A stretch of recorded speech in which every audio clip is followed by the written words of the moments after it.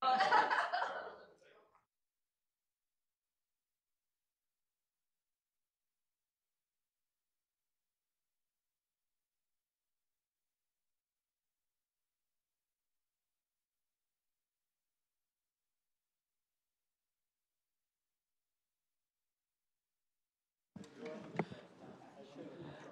evening, everyone. I think it's on with the green. It's interesting up there, it's on when it's red. It's, we're, we're very confused. Um, anyways, good evening and welcome to our joint dinner uh, with the City Council and the Bicycle Pedestrian Advisory Committee. Uh, I'm Lisa Gillmor, Mayor. It's a pleasure to have all of you here this evening to join us for our conversation about everything uh, bicycle pedestrian in Santa Clara. So um, we're going to go around uh, the table here, and if you'd please, everyone introduce themselves. And when you speak, for any reason whatsoever, just grab one of these and make sure it's green so the folks at home can hear you. So I'm. Let's start to the right here. Teresa O'Neill, council member. Karen Hardy, haven't seen you guys for at least 24 hours. Had a meeting this morning, huh? Uh, Patricia Mahan, City Council. Manuel Pineda, Assistant City Manager. Brian Doyle, City Attorney. Bruce Donahue. Tondo. Tom Granville, uh, committee member. Rafael Reyes, member. Ken Kratz, uh, BPAC member. I got this one. Uh, Diane Harrison, member. Craig Larson, two-term member, and also uh, Mr. March on the city calendar, if you'll notice. It's true, you are. We'll take your autograph after this session if that's okay. Oh, we'll bring our calendars in. Okay, thanks. Dennis Singh, traffic engineer. Um, Mike Liu, Assistant Director of Public Works. Craig Mobeck, Director of Public Works. Raj Chahal, City Council. Kathy Watanabe, City Council. Debi Davis, City Council, and Bruce's neighbor. Well, I want to tell you, you must be a very special co- committee because I haven't seen so many staff people here at a, one of our joint dinners as this. So they're all here for you to answer questions or to help. Um, do you have a chair of your committee? I just Right there. oh Karen. I oh I thought on on this side. Yesterday. Okay, so we we have had for so many years uh, Councilmember O'Neill, who has chaired the the BPAC, and now we have Councilmember Hardy, uh, who is chairing the BPAC. But I wanted to find out. Um, are there things you want to talk about uh, tonight? And I, if I can start with you, Karen, if you'd like to get started. And, and believe me, everybody just, you can just jump in. We don't want to make this very formal. We want to make it very casual and really have a conversation. Um, because we don't have a lot of time. So, Councilmember Hardy, Karen. the reality is, we covered everything from walking, riding, scooters, uh, parking, repaving El Camino, uh, bike paths, you name it. And these guys are great at details. Okay, so um, Teresa, did you have something to say? No, at this point, Oh. Really? Okay, yeah, we're here to listen to you. So if you'd like to just, uh, Diane looks like she's ready to go. If you want to get us I started. forgot to turn it off. But um, yeah, this is Diane Harrison. Um, and um, I bet Karen's kind of sorry she took this committee at this point after one meeting No, with us. she's not, no. anyway, my uh, number one issue is um, because it's very, im- very, very imminent. Is on the re- on the repaving of El Camino. I strongly want to see once once they remove the street parking, which they're going to have to do to repave, that they leave it off permanently and stripe some class two bike lanes. Um, I don't see it, it. It really shouldn't wait until the El Camino Real specific plan is done. If that could, it, you know, however long it takes to do the plan, it could take even years more before it's actually implemented.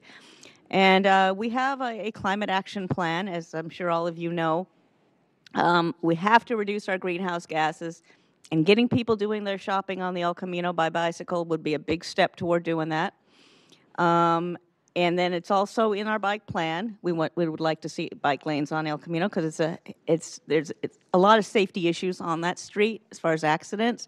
So I think that that is another good reason to do that. even if we can't do the fancy protected bike lanes, at least get something down so we're not dealing with parked cars, buses, and the whole bit.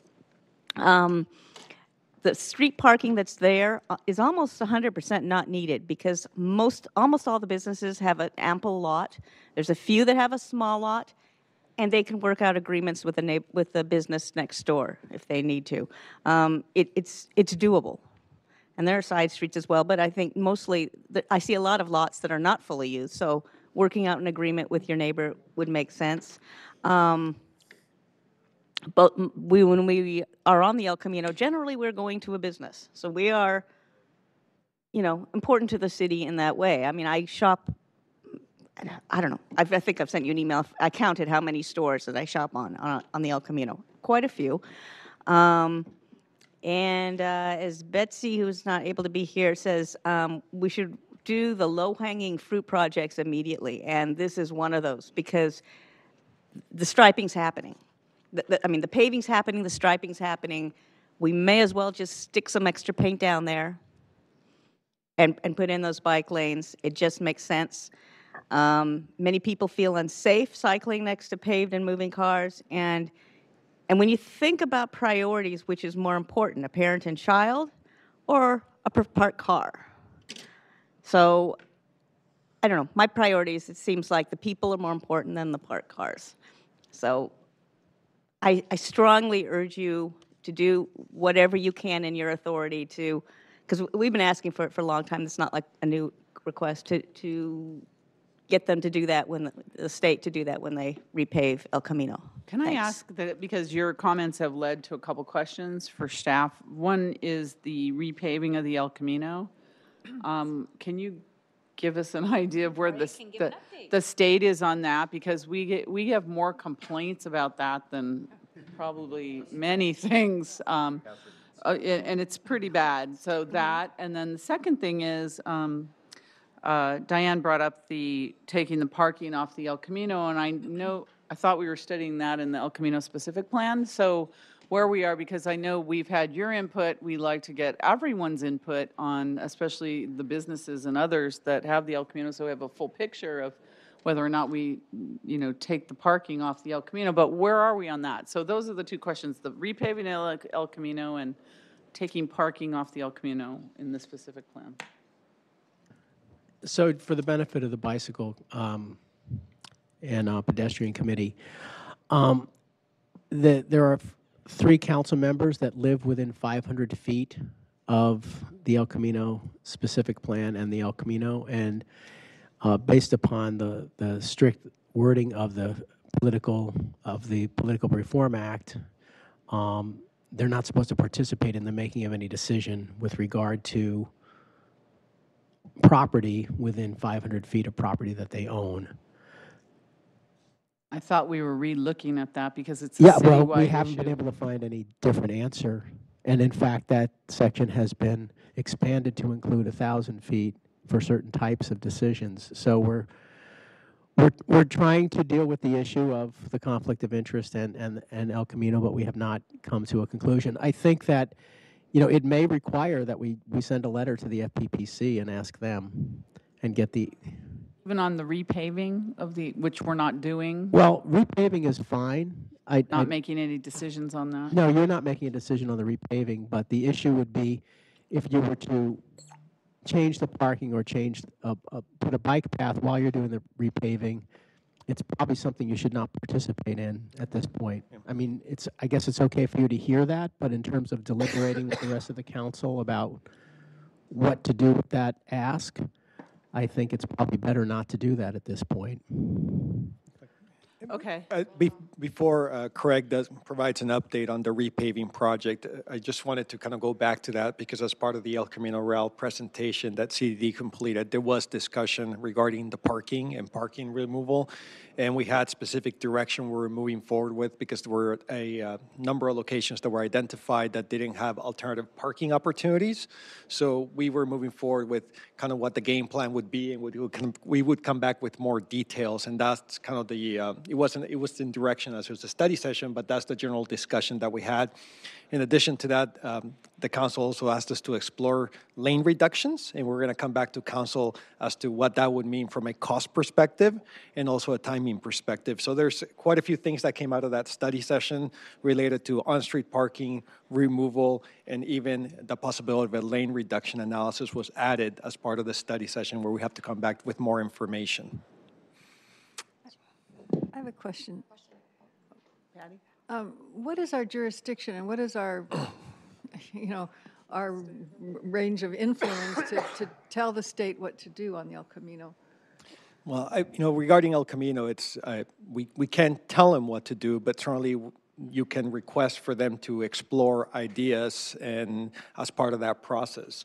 Uh, so unlike one of our cities, which is ultimately, and we, as part of the study session, we had this discussion as well, that all the concepts we've shown for El Camino were really ultimately up to Caltrans approval but we can present concepts, have those discussions, and see what, what their, kind of where, where the openings would be.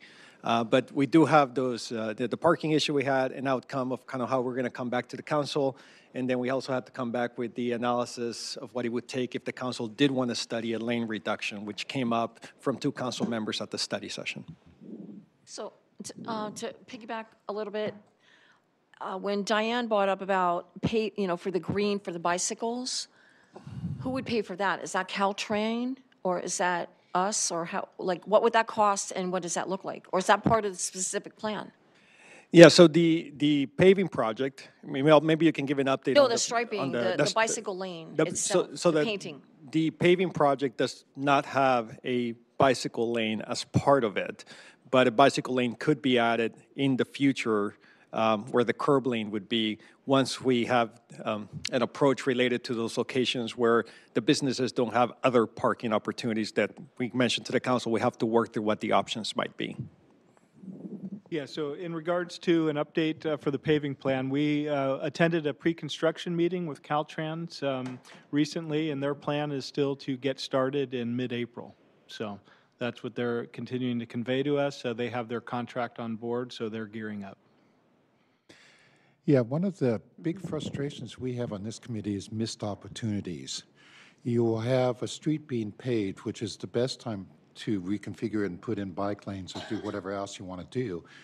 But it, the timing just never works out, or you, you don't want, the, the idea of putting the bike lane in there isn't brought up soon enough, or, or, yeah, you're not complete, in complete control of the timing like with the state.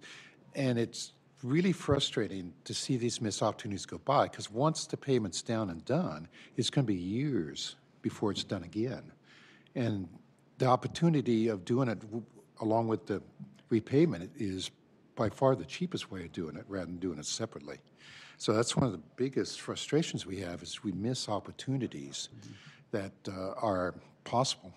Yeah, I, I, I would add that, uh, and I, Diane's seen these, there's, there's bike lanes on the El Camino Real in, is it Sunnyvale? And I, uh, my guess question to the staff would be, uh, I thought uh, the cities control what kind of parking or what happens along the curb. I, I know the sidewalks, if you go along the El Camino Real, some cities don't have sidewalks. So the sidewalk along the El Camino Real is the cities, is my understanding. And uh, I'm thinking through association that the parking along it would be something that the city would be involved with uh, for sure, and that Caltrans would probably go along with anything that we would, we as a city would uh, request. So, yeah, they're only interested in probably the lane configuration, that they can move the, the three lanes of traffic, and the parking's kind of incidental. So maybe you could speak to that. Uh, Is there anything that's really holding this up that, uh, I even came up with an idea for very little cost. We could put some uh, barricades out there and put some no parking signs uh, along the street to see if it works and see what kind of complaints and issues come up. You could put the signs on the poles that are up there now, or you could put them on barricades. Anything you could say along that? Yeah, we're not comfortable really discussing this level of detail about this project. This is not specifically on this, on the, the agenda for, for this meeting, for the, for the city council. This was supposed to be a general discussion with, with um, the Bicycle and Pedestrian Committee. So I, Well, that, my, my, my, my misgiving about it is the fact that we have three council members that should not be part, not even be in the, the room discussing a project within 500 feet of property they own. And so I, I, I think it's okay to have or generally heard this, but I'm, I'm more and more uncomfortable about placing them in a position where someone could accuse them of, of um, a conflict of interest. Or the alternative would be those three, if, if we want to continue the, the discussion in this level of detail, that we would um, ask them to leave until, until we're finished. We, you know, I guess, who is it? It's me, uh, Karen and Raj. And I know it's, the El Camino Real is important. So would, should we step aside until you have an El Camino discussion and then we can That- come back? I know it might be important to the committee. Yeah. I'm, I'm okay with, with stepping aside. I just don't want to place you in the, in a Yeah, position of that's someone fine. having a I- problem. I'm okay too. Yeah, okay, let's just step out and call us when we can come back. It will only please. be a couple minutes. Okay. we can get some We'd sort of- like to come back. I Just want to hear the official thank reasons. you. Yeah. Thank you. I, I, I- by the way, I'm a little surprised because I remember when we discussed this at, uh, this came up, topic came up in front of the full council. I don't remember these year ago. members leaving the No. room. Maybe you could address And- and that. This has been, issue- this has been an issue for years and years and years. Two of the council members were not on the council a year ago, and I don't remember whether Mayor Gillmor was there or not. In, in the last study session, the three, it's, three of them did not participate. At the last study Wait, session, are you on, guys turning on your mics because you're really hard to hear? So Yeah. maybe we can, yeah, Yeah, you can- Okay. I can hear you. focus our, our discussion Yeah. more on, on your questions per se, because my question really is, what authority does the city have? Personally, frankly, I think anyone who parks on the El- El Camino takes their life in their hands. I would never do it, but it's me. Um, So if we were to remove the parking and make room for a bike lane, appropriately, appropriately, um, you know, marked bike lane, which would be safe, uh, and eliminate the parked cars, what authority do, I guess my question is, can, can we do it unilaterally? Do we need state's permission? And can we force the state to accept what we want to do? And maybe you don't have the answers to those questions right now, but maybe we can find out the answers to those questions. Yeah, and I think. They are with- important. Yeah, with regard to the parking, I think the, the first thing that's important, and obviously I don't know the full history of, of this question, but to my knowledge, the city has never embarked on any studies to remove parking along El Camino. And so I think the first thing that's going to be accomplished um, potentially under the El Camino specific plan is to look at parking removal and specifically to engage the business holders um, all along the El Camino to get their input, to get the public input as you, to move forward and, and provide input to the council when making a decision on is there a need to move forward with uh, Okay, parking but that sort of still begs the question, because even if we engage everybody and have studies, Yeah, uh, what can we actually force the state to accept from what we want to envision on the El Camino? So I, I think once getting that support from the community, some businesses have issues with parking, but say you were to make a decision, yes, we want to go forward with removing parking, I think then we can coordinate with Caltrans on the removal of parking. They might not have an interest uh, with that. But don't we, Um, don't you think we should get those answers first before we embark on a lot of If- studies if- that may? What I, Yeah, what if, I if I, just- if I may, just because I have worked, I did work on the Sunnyvale project and have worked on other projects in El Camino. So uh, Caltrans, typically you have to go for approval for Caltrans, and typically you want to, when it comes to parking, they don't usually have a concern associated with that. They're more concerned about the travel lanes, the pockets, what's happening at the signals, and parking is usually not a significant issue of concern for them in general. You never know if they're going to have an issue with it. I think specifically to this location, after the, the last study session that we had, and as we discussed uh, in the presentation and staff report, that they, we, I think staff would, was recommending removing parking along the corridor and doing the appropriate outreach for that except for two or three locations where the businesses in front of those, in, the, in those areas did not have adequate parking on site to meet their customer requirements. And one of the things we said we would do is we would do additional outreach with those businesses and see how we could, um, if we're removing parking everywhere else, how that would all work together. So that's where we left it at from a staff recommendation was to look at parking removal, two or three locations where there are concerns and issues because the businesses have concerns and issues. Obviously, if the council would like to, uh, in the future, give a direction to remove it, even if, you know, if the, the business's concerns are, you know, secondary, we could, you know, we could look at that.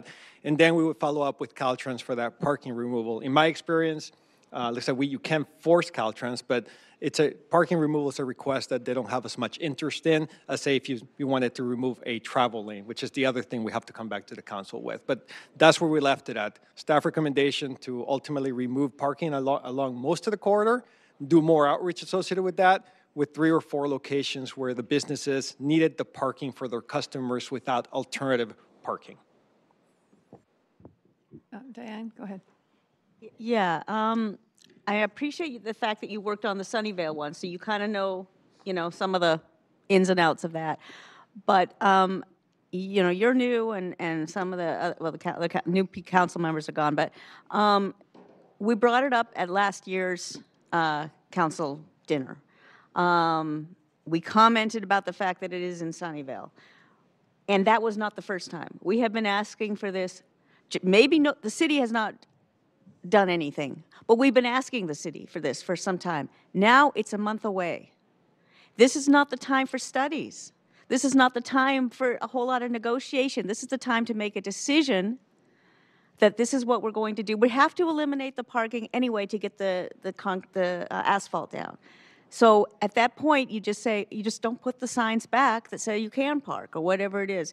And you just have, pay whatever additional amount it costs for Caltrans to, to paint that bike lane.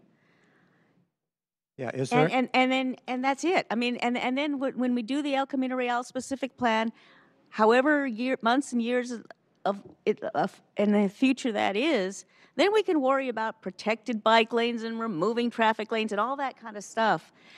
But this is something that can be done immediately, needs to be done immediately, um, for the sake of the climate, for the sake of the people of the city, for the sake of just about everybody but a very, very few customers who park in front of the businesses with very small lots.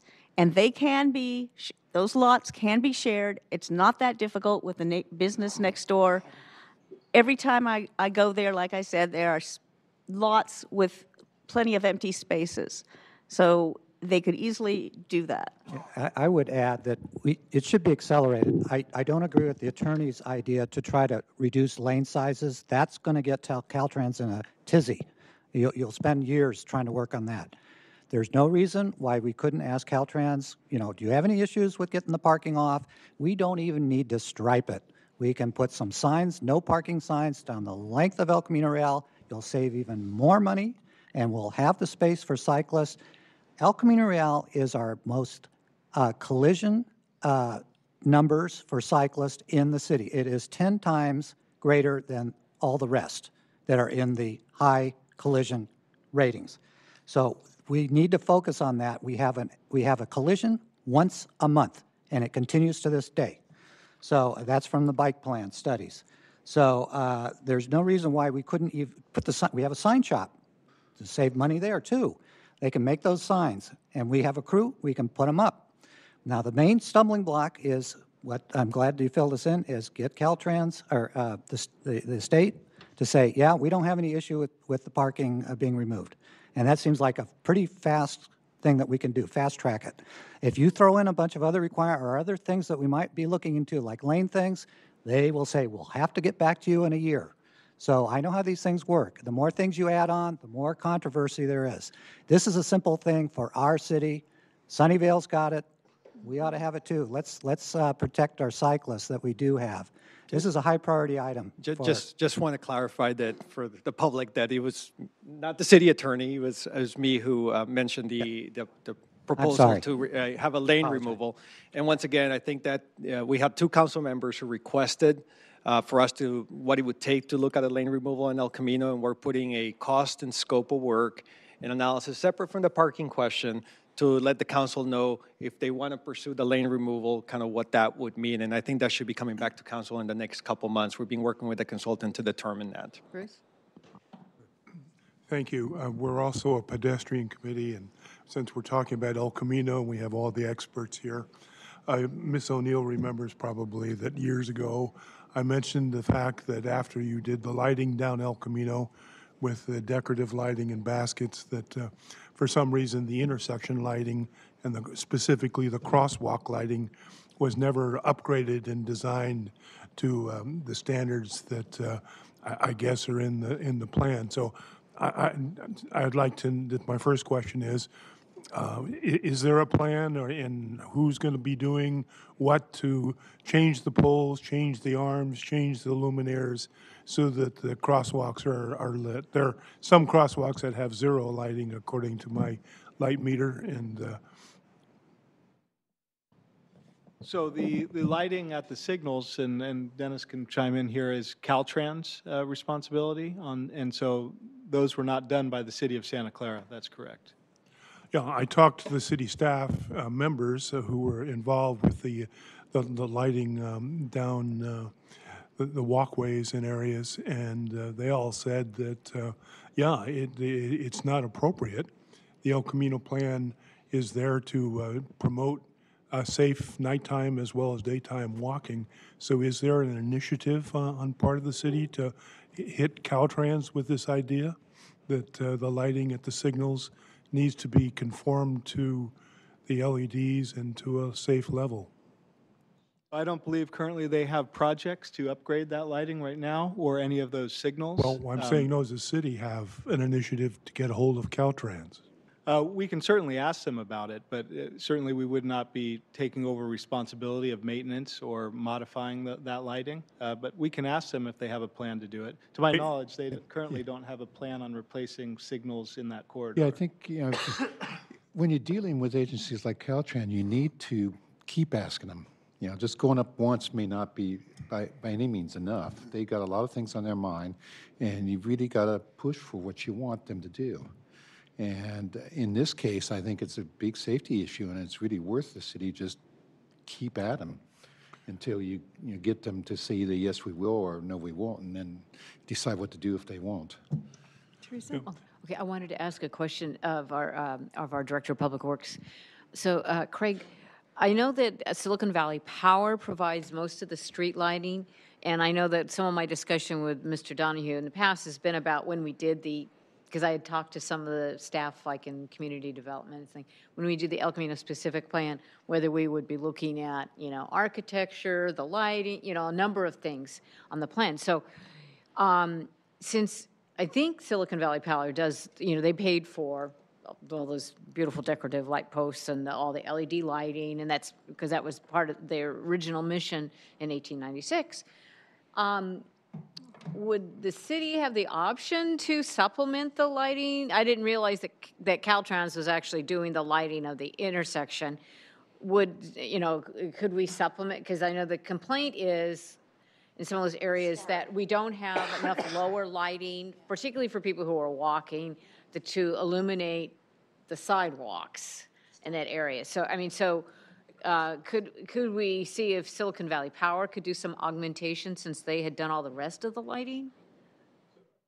Are you referring to pedestrian lighting along the entire corridor, or with? Well, the- particularly, there's some spots that are bad, like particularly know near the intersections, but intersections are not good. Yeah, so in, in regards to the intersections, to my knowledge, the city did not take any um, steps forward to contact Caltrans to say, we want to replace these, we want to take over maintenance. Certainly, I think Caltrans, anytime any other jurisdiction is requesting to take over items, take over Oh, yeah, maintenance, they- they will yeah. certainly They- They'd be- like us to do the whole Yeah, thing 'cause that- all the time, yeah. Yeah, I mean, they're looking for cities to take over all their freeway maintenance as well. Um, So certainly, like I said, we can talk with them in terms of engaging SVP to, to do some projects out there for city to take over any maintenance. Obviously, that would be a different discussion, but we can reach out to them and discuss that with them. If I could follow up, um, my, my, my suggestion is, as Ms. O'Neill has expertly pointed out, that there are lights on the traffic signals, and th- there are lights that are across the street because it's a wide street that are the decorative lights that the city put in. And the installation of those decorative lights, uh, they should be substituted for long-armed um, type of light under the city jurisdiction so that the other half of the crosswalk i- is lit. So it- if you picture a, a a typical intersection, maybe there are two arms across El Camino that are state facilities that you've indicated to me, but there are also two arms and lights on the other side of that crosswalk that are decorative lights that do not shed any light far enough from the curb to be uh, illuminating a safe crosswalk. And so my, my request, and I don't know how the committee and all this, we're just talking, maybe we need to get a resolution, would be that the city uh, contact Caltrans, and then secondly, that there be just an in-house um, review of what feasibility there is to extending the areas that the city actually has the improper light at a crosswalk. So if I, these are very important issues and questions, and this meeting is not the type where we're going to take any action. So if, when is your next meeting, the BPAC meeting? June. Not till June.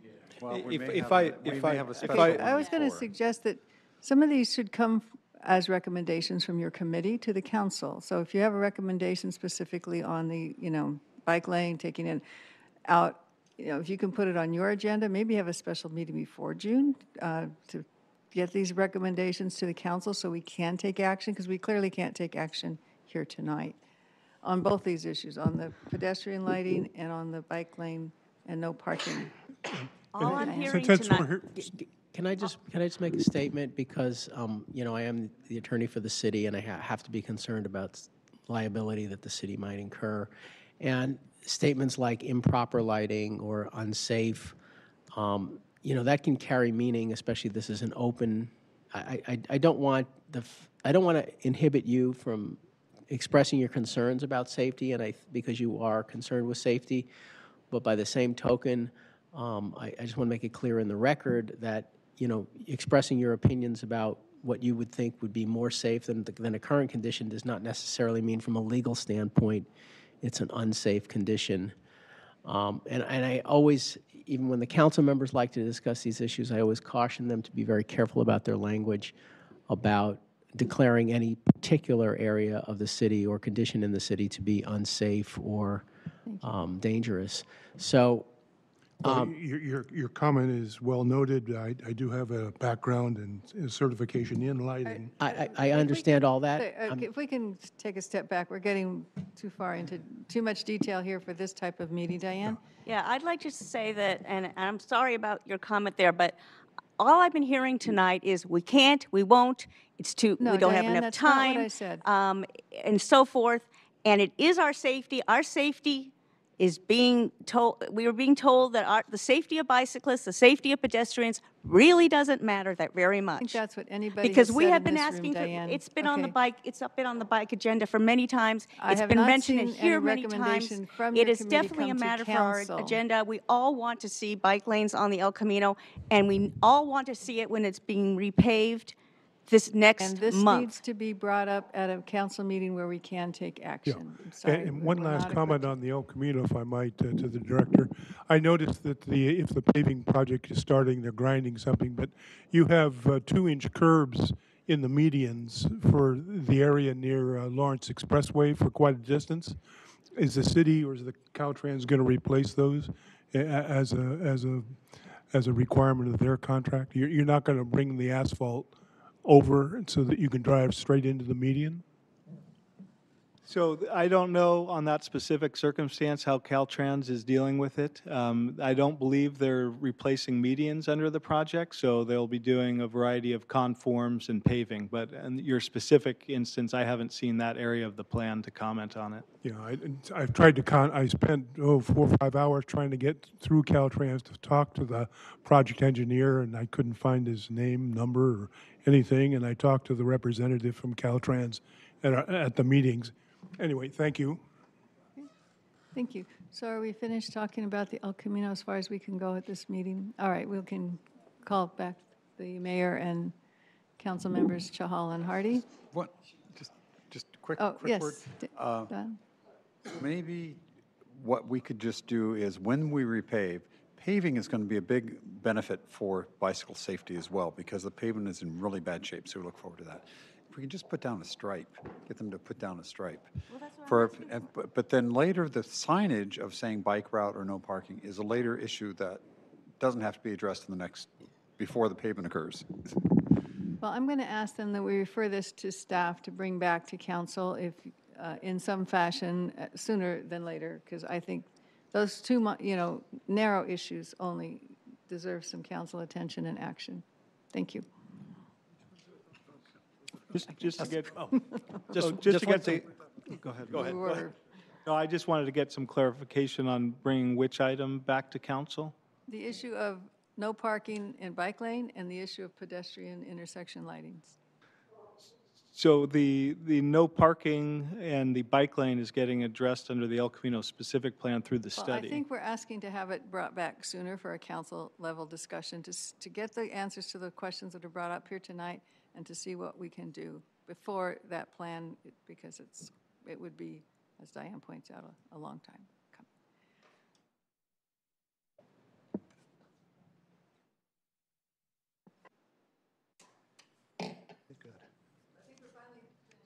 I'm afraid to speak, so are Yeah. we okay? Uh, Is it all right? Can we speak now? I, I have a new topic.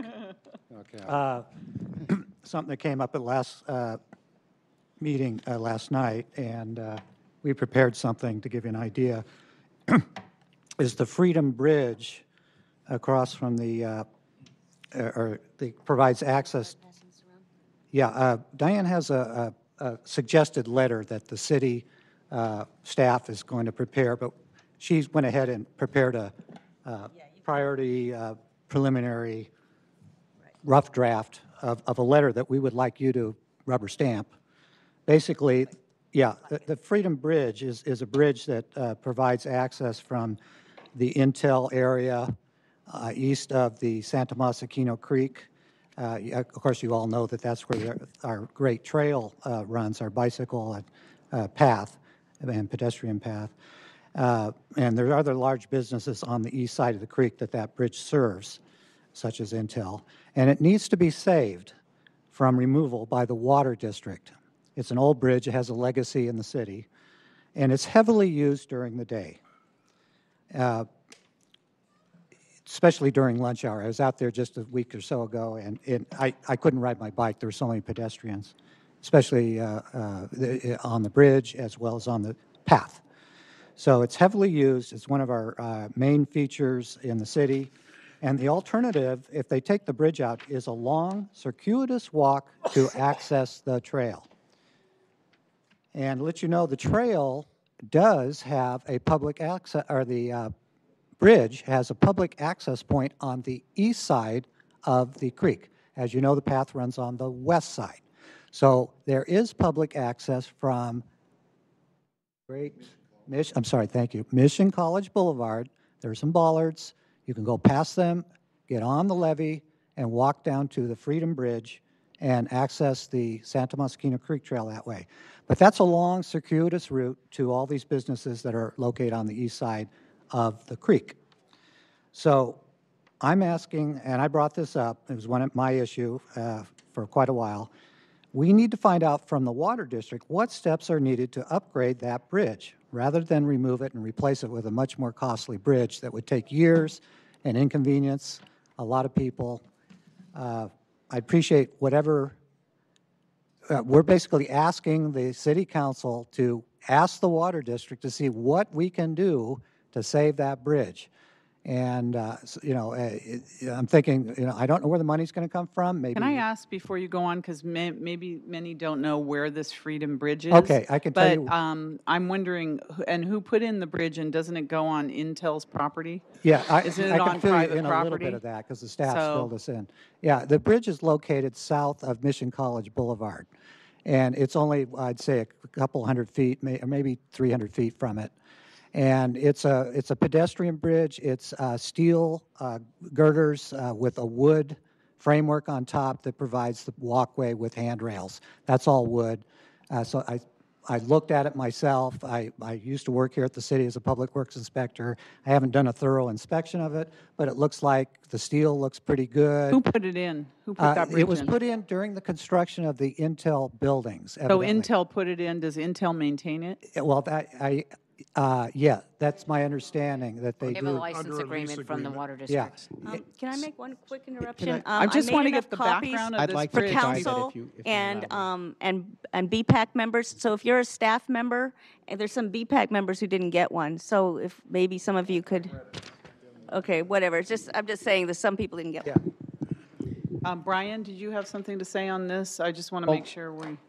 Um, in analyzing the- that'll get plenty the more. bridges over San Tomas, Aquino Creek further up, by, specifically by the stadium, the way that works is um, the, the water district doesn't own the bridge. The water district provided an easement to the two, s- two property owners on either side. Are they both private property on either side? I, yeah, I think so.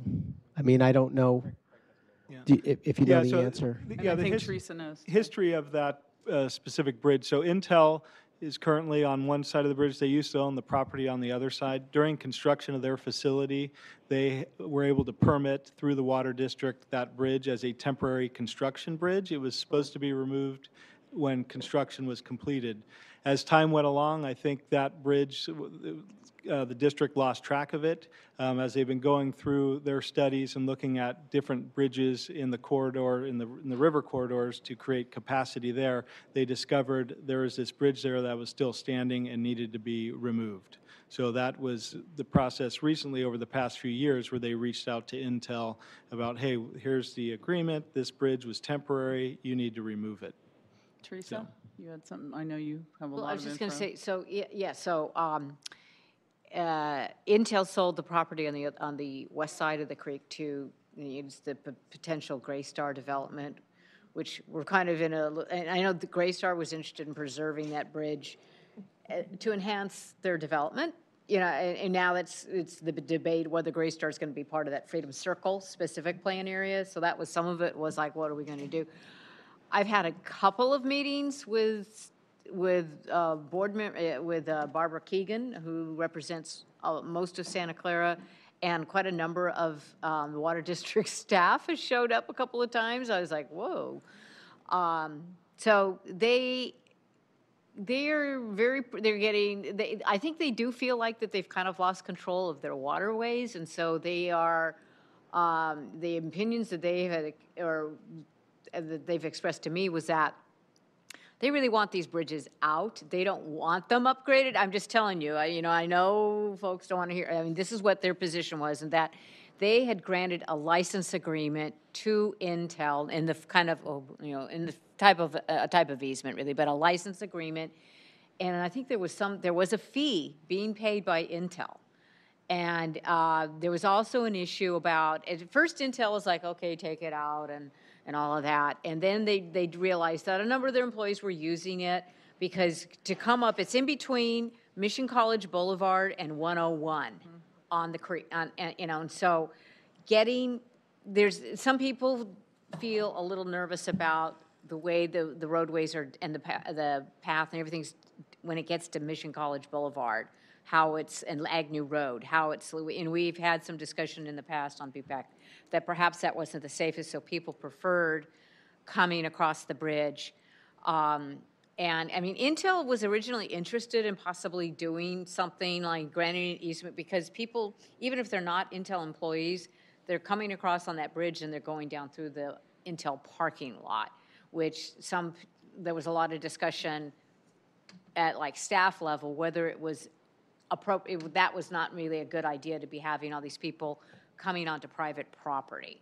Um, So the challenge is, is that, you know, the last couple of times I've talked to the water district, I mean, they were pretty assertive about like, I, you know, and they're like, I thought you'd be done with all this. And I said, well, you know how bureaucracy takes, and we said, we- we're working on a Master Creek Trail plan, we're working on the bike ped plan, we're working on specific plans, and their comments to me was like, well, we thought you'd be done with all that by now. What does that mean, we'd be done with all that? Like, the- Like, the we would that- that build, we the would city would build a new bridge? Like, Well, what does you that know, but- mean? But, you know, that's what I thought. Well, so even if we have a new bike plan, a new creek trail plan, and all these specific plans done, it doesn't mean that, you know, we're, we're probably still, we, you know, most of the, a lot of the employees and other people would still want that bridge, so. What are Intel's thoughts on this bridge, since it's on their own per, their own private property? they want down. Well, they, they were kind of flexible either way. I mean, they were having to pay money every, every six months to the water district in order to allow them to keep that bridge.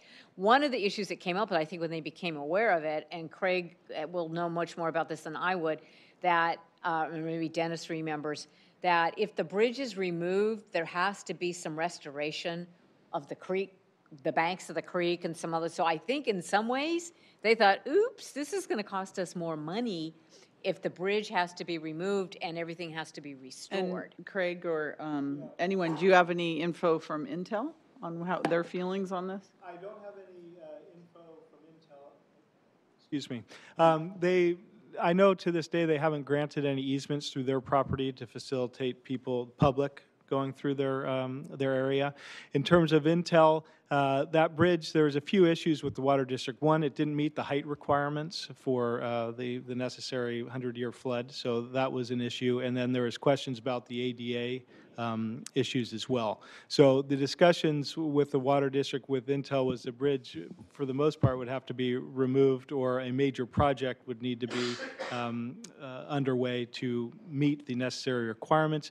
Because it was a temporary construction bridge, there was questions about its construction, how it was installed, and, and those sort of things. Um, But to my knowledge, uh, the district issued a letter to Intel giving them a, a deadline to have the bridge removed. And I don't believe to this point Intel had responded back that they're willing to take over the bridge, do the necessary repairs. The mitigation uh, that Councilmember O'Neill uh, mentioned, that is correct. Anytime you get in that waterway, it's waters of the state, you get into permitting, mitigation, off-site mitigation. There's a number of issues that come up that would also have to be dealt with with the removal, as well as if anything was uh, was constructed or altered in there. I, I crossed that bridge for the first time today on my way here from work. And um, the bridge does not go onto Intel property. The bridge crosses completely within the creek zone. There is a bridge, there is, are steps down from the levee onto Intel property. That's probably not ADA compliant. But on the far, on the Intel side of the property, the levee is, is gravel on the top and continues on to Mission College. So there does, there is public access to the far end of the bridge to Mission College and on the, that side of the levee. Um, I also had to take a different right, uh, route here today because there was an event at the stadium, and so that Yes, closed. there's a big soccer uh, game. My, uh, that closed that route, and so taking a different way, I took, I went across the Calabazas Creek, and there was a bridge very similar to that same bridge near Mission College. And it doesn't have any more clearance than the bridge at Intel. And in fact, Mission College has less clearance than the bridge does at Intel. So I really question the clearance issue. Yeah, in addition, on the clearance issue, i- if uh, that bridge has a problem, the- the overcrossing on 101 is even, would have a tremendous problem because it's even less distance between the height of the creek to the bridge. There's a, there's a number of bridges that don't meet that requirement, but this, going back to this one, is a temporary construction bridge, and the district was going through, looking at all their facilities. That's why this item came up, and they noted that it was temporary, it was supposed to be removed, and that's the course that they're heading towards uh, right now. Well, maybe we can get some information back from the Water District and Intel, more importantly, as to where they are with this. Um, And so with this letter, we're asking to, hold on, I can't speed read this, but um, it's a draft, okay. So we'll take a look at It- this it's draft. Does asking our for the- staff have this draft? It's, to summarize, it's asking for the technical structural report, the, the freeboard analysis for the creek, and the ADA uh, compliance, uh, so that whoever wrote the letter from the district end would be able to have the backup information and allow the city to consider if we should, again, approach them on uh, the bridge. Okay. So the notion is that when I, when look, nosed around, no one seems to know anything about the bridge, and So you believe there is this backup information Well, I- I- available? I- I you- hope. Based on their conclusions and their reports? Well. I hope a senior person with the water district wouldn't just make up things to say, let's get rid of it, that they, they are, they're, they're duty bound to. Yeah, it- Hope not. It, it seems that you know, we haven't been pri- provided, the staff hasn't provided any technical support and wasn't really expecting it. The water district has that, I suppose, and we, we don't have it. So Okay. we're looking for a solution for that, that, w- that maybe we can facilitate as a city. Yeah, And, and working with a joint program with, you know, with Intel. You know, if there was a major problem with it, with Intel and the access, you'd think they would have fenced it on their private property down at the base of the levee, if there was a real issue there.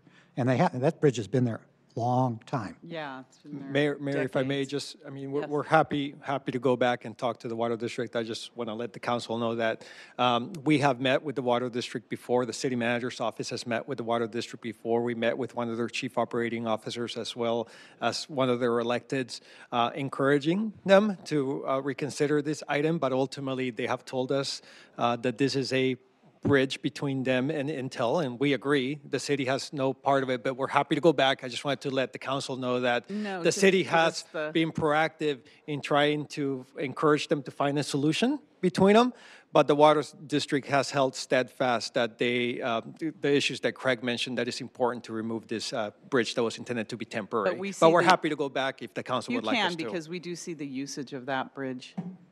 I, I have another question if, if I'm in turn to, to ask, and it has to do with uh, philosophy that uh, I unfortunately uh, is ingrained in me. And so if I'm overspeak, please shut me up. As I tell Miss O'Neill, I shouldn't speak uh, ill of things. But, but the notion is to the city attorney and to the, and to the council. Uh, There, there is a, a development and a project within the city, and I won't specify what, that um, is not following the guidelines for safety that have been established by various committees, the state, and interested parties outside the city. And so the, uh, the staff has gone ahead, and I, I don't say anything uh, ill of them, they have their judgments. I just happen to have a peculiar, more zealous uh, judgment. So the, the staff has gone and reduced adopted standard that is published and nationwide and looked at through AASHTO, the biking idea. And, and, and so this is a, a fully vetted uh, standard over the years. The city is violating that standard, and uh, I think it's dangerous. It's dangerous because it's too narrow and doesn't follow the standard. It's well below it by 30%. And it um, is a notion that uh, is, creates a hazard because it's a curving street and the width of the vehicle lane uh, is uh, being reduced to 10 feet, which is an, just a, seems like a number, but there is an 11-foot standard. And, but more importantly, we, we have uh, reviewed the proposed Master Bike Plan 2019, and the consultants within that have adopted uh, the notion that if there, there should be a, an extra lane for bicycle protection, and one of the vehicle traveled lanes should be eliminated. That's their formal recommendation in their formalized report, and they cite all the outside agencies that have adopted the standard. So we have on one hand the need for the city to put this bike lane in, and the engineering department saying, let's put it in, and um, we'll get this done, and it's a half a million dollar job. And then the idea being that it kind of violates the safety hazards, in my personal view, uh, of, of many organizations that are above the city and have more expertise. I'd like to say that I, I think it's a council issue, but I'd like to hear the city attorney's judgment on the city willfully violating adopted standards. I'm not sure that the city attorney can answer that at this point, not knowing the specifics of what it is, but Yeah, I have no factual basis to make any kind of judgment, nor do I have any legal research in front of me. I mean, you, you made a bunch of statements, I don't even know where you're talking about. So, I, you know, I, I just think it's, I I just don't think it's fair to put me on the spot like that. I'd be more than happy to have you give me information, and, and I can receive that and, and see if I need to advise our, cli- my client. I would, I don't advise members of the public, I would advise my client. But, uh, you know, if you want to send me the information you have, I could, in a, in a sober and considered way, um, Well, I didn't necessarily Uh, want to come up take it with to an that answer. level. I just like a more philosophic answer. well, I, I, Well, philosophically, we don't like to philosophically, I break the like- law I like here in the safety. city council. So I don't, Well, yeah, it- it- I- it's not, we- it's not a law, it's an adopted standard. so Listen, thank you. I, I, we don't know, I don't know what project you're talking about, what street you're talking, I don't know any of the specific, our council, we don't know any of the specifics of that. Certainly, we're interested, so if you could please give the information to our city attorney or city staff, um, so that we can follow through. Uh, you know, we'd appreciate that. Uh, The commi- So, the committee did discuss at length, and they have the information. okay, w- we don't, so I, you know, it's hard for us to, to answer anything like that, but we appreciate you giving Uh, uh, it to of our course. staff. I understand. All right, but thank you. Um, We're going to have to close up because we have a council meeting that starts at 6 o'clock. We have to break this down. Yeah. I wish we did. So would you like, is there any other closing statements you'd like to make? Yes, please. I'd like to make a quick one. Um, Has to do with the undercrossing of the creek trail by the stadium. Uh, On the uh, planning sheet for uh, grant activity, it shows that uh, in the future, I believe we'll apply for grants to fund that. But we, do we know yet if the undercrossing there is done, will that allow the trail to be open during stadium events? Have we gotten a definitive answer from somebody like the Stadium Authority or Public Safety or whoever? Because it doesn't seem to make a lot of sense to go forward if it's not going to solve the problem that we intended to solve. And So- that is the problem. Uh, Just to, to highlight that a little Mm-hmm. bit, uh, having passed there today, they close it half a mile away. I mean, you add an underpass there, it's not going to make a difference. We are working diligently, and our Stadium Authority Executive Director and our Stadium Authority attorneys are working um, diligently to get that stadium, um, to get the Creek Trail open during stadium events. Yeah, I- Brian, I- did you have No, I something to I- say? I think the specific question is to ask them, if we do this specific project, will that allow the trail to be open? And get a definite answer from them. And I, I, I commit to you that I will find out that answer. I mean, I, I, I enthusiastically support your, your sentiments on the, on the trail being reopened. That's one of our strong goals this Yeah. year, is to get that reopened. I, I'm passing out, and I know if many of your council members have already seen it, but for Raj and Karen's uh, benefit, uh, this is a plan that I drafted. Yes, we It's have an that. idea Yeah. for relocating the trail in that location to keep it open all the time. And I don't see a problem. It's an elevated structure catching the trail down by uh, Ag, uh, is that Agnew? Whatever. Uh, And goes, yeah, Tasman, and goes up to Tasman. So uh, that, that would cost money, but that's something that maybe we can figure out uh, at some point and, and uh, get the money for that. Uh, I, I have a quick thing about the, uh, uh, We have about three minutes. Okay. Three Uh, minutes, like five minutes right. ago. Uh, Right. Yeah, uh, the bicycle plan, well, uh, it- it- we we we are doing a 2019 bicycle plan. The last one that was done is 2009. Even the plan, the the authors of the of the uh, 2019 plan uh, mention and recognize that we have made very little progress on, uh, especially on-street uh, uh, facilities since 2009. And uh, I would like to try to see if we can uh, get some sort of schedule, uh, some direction from the council that we could agree on a, uh, uh, a certain rate of, of, of, of building t- of, of these facilities so that we can say in 20 years we've got most of it installed instead of the, you know, it, it would take a hundred, couple hundred years to even get anywhere close to the whole plan. So uh, I would like to see uh, a, a building and funding target of 5 to 10% a year of the uh, projected costs for those uh, facilities that are, are, are planned. And uh, otherwise, I'm afraid the plan's just going to sit on the shelf. And uh, the other thing in regard to getting extra funding, I would uh, ask the, the council to look for new funding sources for these projects. I, I, I- appreciate the staff's uh, diligent work to, to get matching grants and things like that, but I asked a question last night, it's quite revealing, that other cities have other mechanisms, mechanisms for funding.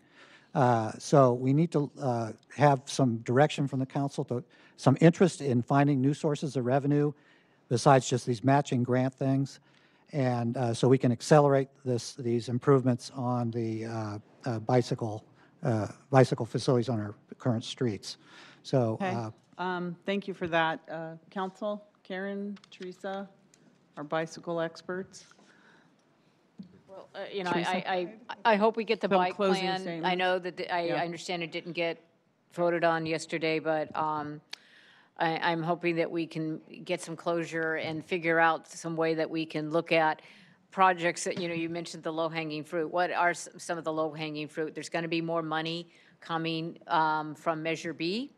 Uh, It's going to be coming out soon. I've uh, told, um, it was part of my prerogative as chair this year, I said that I want the next Measure B event to be a bicycle pedestrian event, or, you know, where they're showing that funding's being released. So I, I will follow up with them on that. So um, I, I hope that we can figure out what we can do in a reasonable fashion. So Teresa's going to bring the checks for us. Yeah. That's what it sounds like, right, May- Teresa? Maybe you could ask I ask. heard the- that. Could you ask the That's what I staff? heard. For VTA. Could you ask the staff to review what others, what other funding mechanisms Hmm. other cities are doing? Because obviously at the last meeting, that was, a- that was a revelation last night.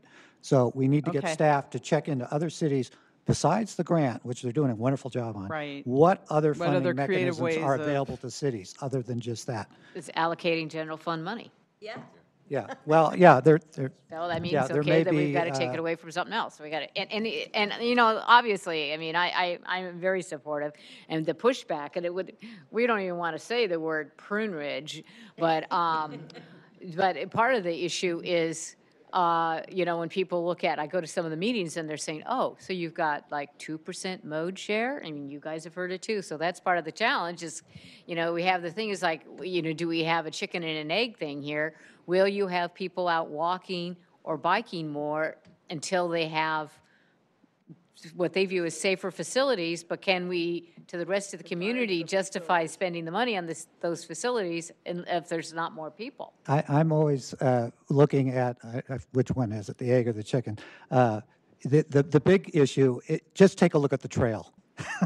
You know, that was a big gamble. We, we Right, the put a trail lot is of effort absolutely into that, packed. staff and, and the county and the- the Mhm. water district. I mean, look at how successful that is. Took a while, but A- And, and now look at how it's yeah. being used. I mean, it's, Right. it's, it's amazing. That is No, our it treasure. is. We recognize Yeah, that as and- well. and- I'm, I'm, I'm going to have to shut this down. I apologize. Any other council member want to say anything?